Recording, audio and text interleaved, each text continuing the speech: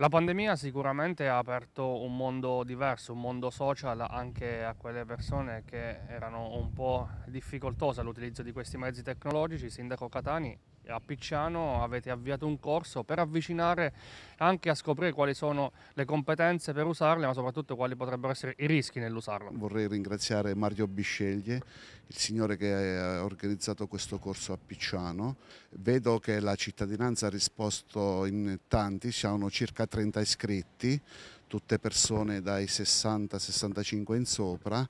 e vedo che hanno voglia di, di imparare, di capire. Io sono, sono, contento per quello che stiamo facendo per queste persone anziane,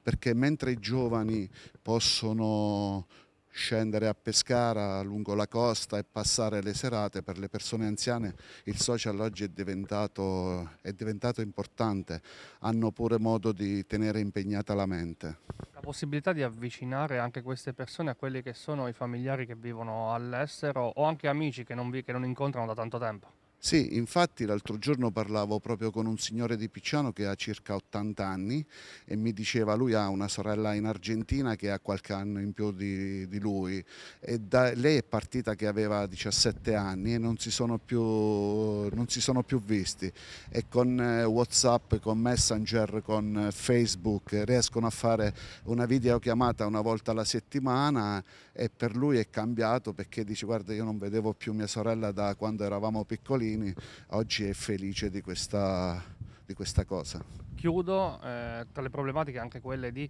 eh, non cadere nelle fake news, si sa che proprio a quell'età è anche facile eh, incappare a queste cose. Beh certo, infatti il nostro organizzatore la prima cosa che ogni giorno gli ripete sempre di stare attenti che se ne, fa, se ne deve fare un uso attento, però oggi sappiamo pure che nelle famiglie ci stanno i nipoti, i figli che sono, dei, sono diventati, specialmente i ragazzi, sono diventati dei tecnici. Certo non si possono avventurare in situazioni poco piacevoli.